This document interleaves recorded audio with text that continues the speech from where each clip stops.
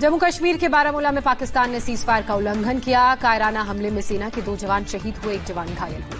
Pakistani Uri sector में ceasefire का उल्लंघन किया गोलीबारी में दो भारतीय नागरिक घायल। अमेरिकी ड्रग एजेंसी एफडीए ने कोरोना से इलाज के लिए रेमडेसिविर दवा के इमरजेंसी इस्तेमाल को मंजूरी दी। दवा के कुछ मरीजों को का फ़ायदा भी दिखा।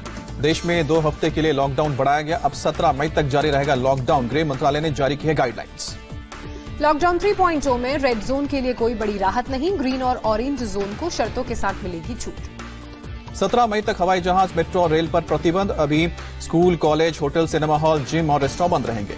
लॉकडाउन 3.0 में 17 मई तक शाम सात बजे से सुबह सात बजे तक बाहर निकलने पर रोक। सुबह सात बजे से शाम सात बजे तक ही खुली रहेंगी दुकान। देश में कोरोना से जंग के लिए कुल चार जोन बनाए गए हैं। रेड ऑरेंज और ग्रीन के साथ कंटेनमेंट जोन भी जोड़ा गया है। देश भर में 130 ज़िले रेड जोन में आते हैं। महाराष्ट्र में मुंबई पुणे नासिक समेत चौदह ज़िले रेड जोन घोषित किए गए सोलह ऑरेंज और छह ग्रीन जोन ज़िले।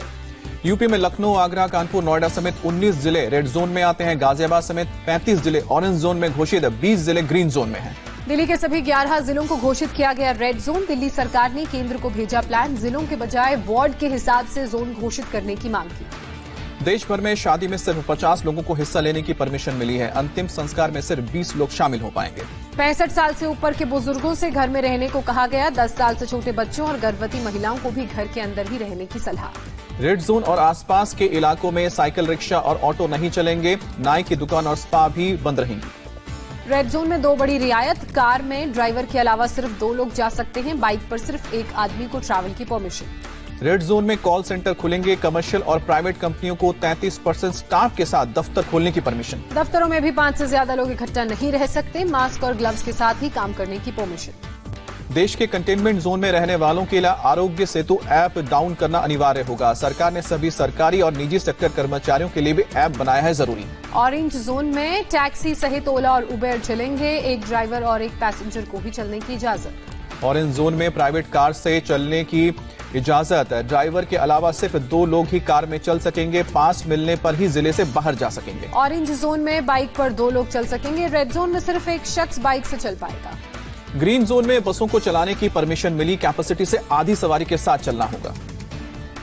ग्रीन जोन में शराब की दुकानें खोलेंगी छह फीट की दूरी बनाकर होगी खरीदारी एक साथ नहीं जमा होंगे पाँच से ज़्यादा लोग। ग्रीन और ऑरेंज जोन में ऑनलाइन सामान मिलेगा रेड जोन में सिर्फ़ ज़रूरी आइटम्स की डिलीवरी होगी। रेड जोन को लेकर ममता सरकार और केंद्र में तकरार पश्चिम बंगाल के 10 जिलों को रेड जोन बनाने पर ममता ने एतराज़ ज़ाहिर किया।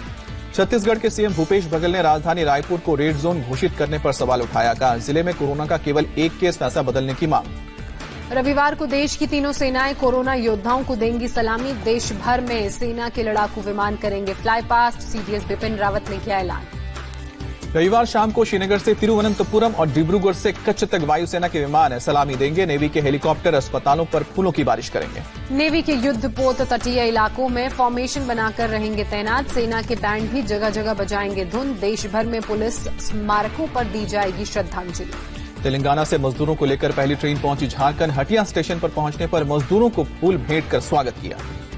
तेलंगाना से आई ट्रेन में करीब 1225 मजदूर थे सवार। सभी को बस से उनके जिलों में ले जाया गया और अब होंगे होम क्वारंटीन। राजस्थान के कोटा से भी झारखंड के छात्रों को लेकर स्पेशल ट्रेन रांची रवाना हुई। ट्रेन में करीब 1200 छात्र सवार हैं। स्टेशन पर जमकर तालियाँ भी बजी। जयपुर से बिहार के 1200 मजदूरों को लेकर श्रमिक स्पेशल ट्रेन पटना रवाना। केवल रजिस्ट्रेशन कराने वाले मजदूरों को मिली लौटने की इजाज़त। जयपुर रेलवे स्टेशन के बाद उड़ी सोशल डिस्टेंशन की धज्जियाँ। एक बोलेरो में ग्यारह ग्यारह मजदूरों को भरकर पहुँचाया गया स्टेशन। राजस्थान के अलग अलग इलाकों से जयपुर रेलवे स्टेशन पर मजदूरों को लेकर आई थी बस। बस में बैठाने से पहले ही की गई थी स्क्रीनिंग महाराष्ट्र के नासिक से चली श्रमिक एक्सप्रेस स्पेशल ट्रेन भोपाल पहुँची। ट्रेन में 332 मजदूर सवार थे। सीनियर पुलिस ऑफिसर ने विदाई दी। मुंबई में रेलवे प्रशासन को अभी तक स्पेशल ट्रेन चलाने के लिए नहीं मिले हैं कोई आदेश। लोकमान्य तिलक टर्मिनस पर नहीं दिख रही कोई तैयारी। केरल के अलावा अलुवू से स्पेशल ट्रेन भुवनेश्वर रवाना हुई। ट्रेन में करीब 1140 मजदूर सवार थे। स्टेशन पर मौजूद अधिकारियों ने तालियाँ बजाकर हौसला बढ़ाया। अहमदाबाद रेलवे स्टेशन से भी ट्रेन चलाने की तैयारी। मजदूरों को रजिस्ट्रेशन होने के बाद तय होगा ट्रेन चलाने का फैसला। रेलवे स्टेशन पर सोशल डिस्टेंसिंग का पालन करने के लिए भी तैयारियाँ की गई। श्रमिक स्पेशल ट्रेनों के लिए स्लीपर का किराया वसूला जाएगा। साथ ही सुपर फास्ट के तीस रूपए और खाने के लगेंगे बीस रूपए। राज्य सरकारों से इसकी भरपाई होगी।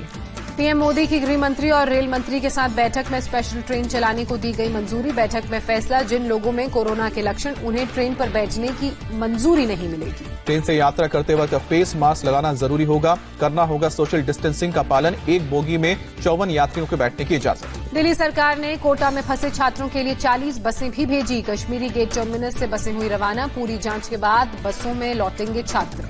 देश भर में पिछले 24 घंटे में कोरोना के 1,755 नए केस सामने आए हैं। कोरोना मरीजों की संख्या पैंतीस तक पहुँची है। देश में 24 घंटे में 77 मरीजों की मौत अब तक एक हज़ार एक सौ बावन मरीजों की वायरस ले चुका है जान। कोरोना मरीजों का रिकवरी रेट 25 परसेंट से ऊपर गया अब तक नौ हज़ार चौसठ मरीज़ ठीक हुए हैं। दिल्ली में 24 घंटे में कोरोना के 223 नए मरीज़ सामने आए कुल कंफर्म केस की संख्या हुई तीन दो और लोगों की मौत। दिल्ली सरकार प्लाज्मा थेरेपी के ट्रायल पर रोक नहीं लगाएगी सीएम केजरीवाल ने कहा कि शुरुआती नतीजे अच्छे आए हैं। दिल्ली में करोल बाग से आप विधायक विशेष रवि को हुआ कोरोना। एमएलए का छोटा भाई भी बीमारी की चपेट में। दिल्ली में सीआरपीएफ में एक ही बटालियन के 12 और जवान में कोरोना पॉजिटिव पाए गए हैं। बटालियन में अब तक टोटल 60 मामले सामने आए हैं। आईटीबीपी के पाँच जवान कोरोना पॉजिटिव पाए गए नब्बे जवानों को क्वारंटीन किया गया। यूपी को भी कोरोना से राहत नहीं है एक दिन में बढ़ गए हैं 116 केस अब तक कुल मामलों की संख्या हुई है दो हज़ार तीन सौ अट्ठाईस। नोएडा में एक दिन में सामने आए कोरोना के सबसे ज़्यादा मामले सत्रह रिपोर्ट आई पॉजिटिव कुल कन्फर्म केस की संख्या अब हुई एक सौ पचपन। गाजियाबाद के आठ रिहायशी इलाकों से हटाया गया कंटेनमेंट जोन पिछले चौदह दिन के दौरान कोई केस नहीं मिलने के बाद इलाका खोलने का फैसला हुआ। यूपी के सबसे बड़े हॉटस्पॉट आगरा में सामने आए उनतीस नए मामले ज़िले में अब तक हो चुकी है चौदह लोगों की मौत। यूपी के सीएम योगी आदित्यनाथ ने प्रवासी मजदूरों के साथ बात की वीडियो कॉन्फ्रेंसिंग के ज़रिए दिया हर संभव मदद का भरोसा। यूपी में मजदूरों के लिए राहत का ऐलान सीएम योगी ने 30 लाख मजदूरों को दूसरी बार पैसा देने की घोषणा की कहा 18 करोड़ लोगों तक फिर अनाज पहुंचाएँगे। मजदूरों को रोज़गार देने के लिए योगी सरकार तैयार कहा यूपी का मजदूर देश में कहीं भी ले सकता है राशन जिनका राशन कार्ड नहीं बना है उन्हें भी अनाज देंगे। महाराष्ट्र में कोरोना के मामलों में सबसे लंबी छलांग एक दिन में सामने आए 1008 नए मामले कुल पॉजिटिव केस की संख्या बढ़कर हुई ग्यारह महाराष्ट्र में 26 और लोग बने हैं कोरोना के शिकार पुणे में 10 और मुंबई में 5 ने दम तोड़ा अभी तक कुल चार सौ पचासी लोगों की मौत हुई। मुंबई में भी कोरोना की तेज रफ्तार जारी सात सौ इक्यावन नए मामले सामने आए टोटल केस बढ़कर सात हज़ार छह सौ पच्चीस हुए।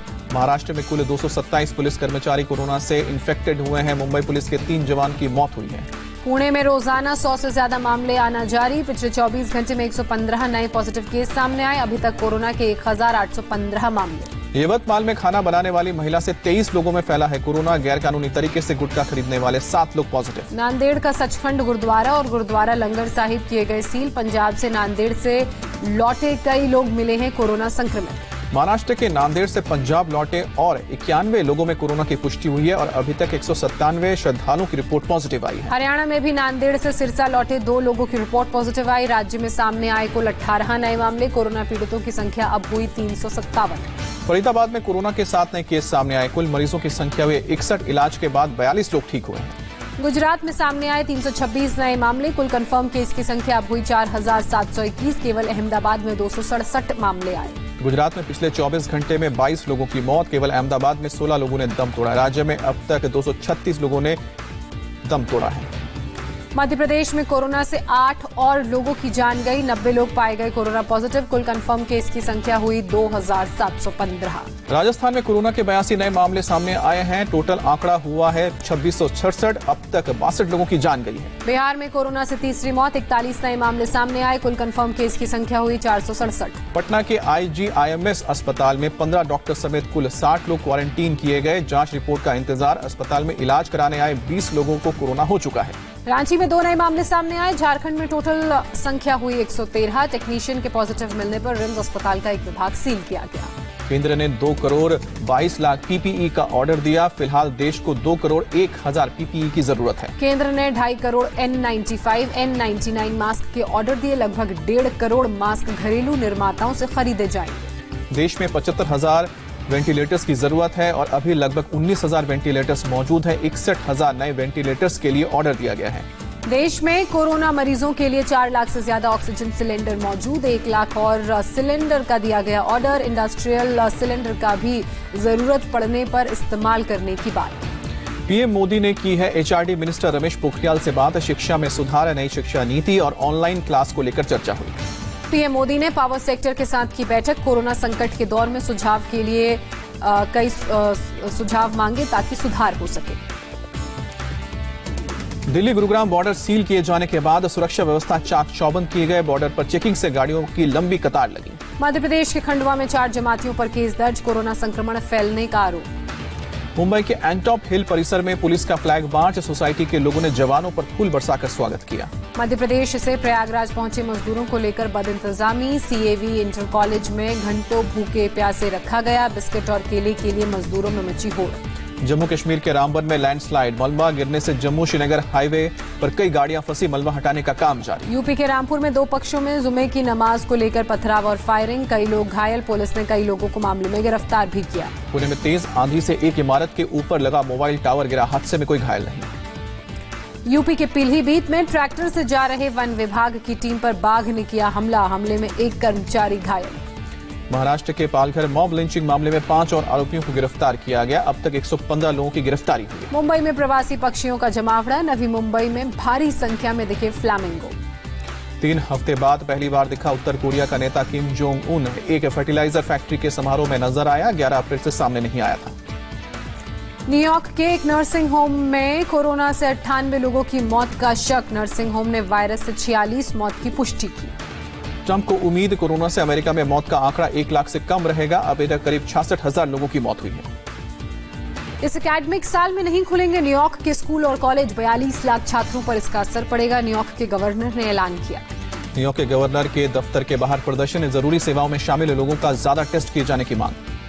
ब्राज़ील में सियापाउली में नए कब्रों को, खोदने का काम जारी। रियो डी जनेरियो में भी बनाए जा रहे हैं चार हज़ार नए कब्रगाह। अभी तक छह हज़ार लोगों की हो चुकी है यहाँ पर मौत। यूके में कोरोना से 27,510 लोगों की मौत हुई है। 24 घंटे में सात सौ उनतालीस लोगों ने दम तोड़ा है। ब्रिटेन ने रोज़ाना एक लाख टेस्ट का आंकड़ा पार किया। मई दिवस पर दुनिया भर के तमाम शहरों में कोई निकला नहीं निकला कोई मार्च। पेरिस की सड़कें नज़र आई सुनी, ड्रोन से ली गई तस्वीरें।